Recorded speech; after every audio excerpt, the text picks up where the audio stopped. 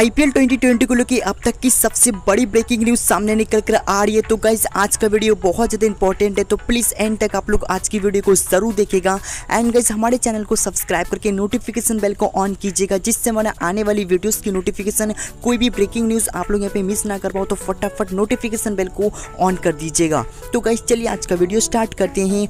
तो कैसे हम बात करते हैं सबसे पहले चेन्नई सुपर किंग के बारे में। तो जैसे कि आप सभी को पता है, चेन्नई सुपर किंग यहाँ पे इक्कीस तारीख को यू लैंड की थी एंड उनकी टीमों को यहाँ पे क्वारंटाइन रखा गया था।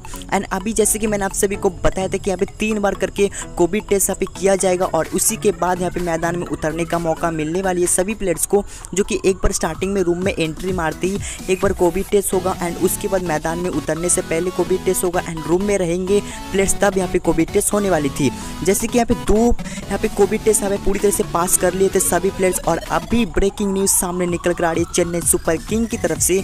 चेन्नई सुपर किंग की टीमों को गाइस यहाँ पे कोरोना पॉजिटिव पाया गया है। रिपोर्ट्स अभी ये निकल कर आ रही है कि चेन्नई सुपर किंग की टीमों को यहाँ पे कोविड टेस्ट, यहाँ पे पॉजिटिव पाया गया है।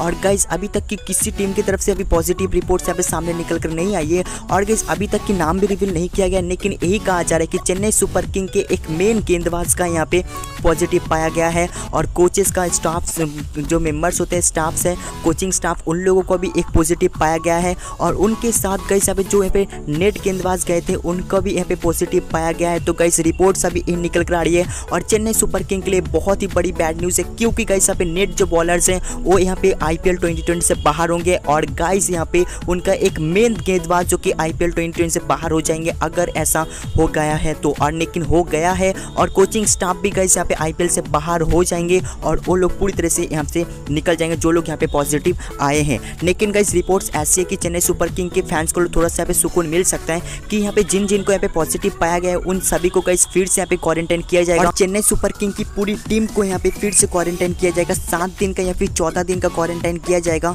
एंड उसके बाद फिर से इनका कोविड टेस्ट होगा। एंड जैसे कोविड टेस्ट इनका नेगेटिव आएगा तो उसी के बाद इनको जो कि यहाँ पे मैदान में उतरने का मौका मिलेगा और आईपीएल 2020 का स्टार्ट कर प्रैक्टिस स्टार्ट करने का मौका इन टीम को मिलने वाली है।